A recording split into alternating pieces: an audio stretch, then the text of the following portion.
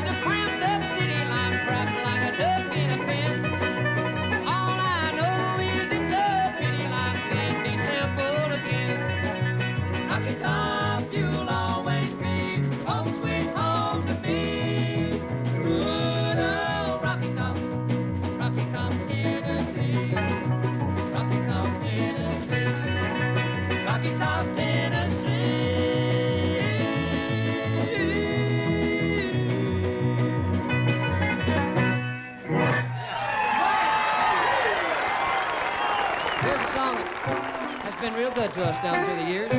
We'll treat her just as good.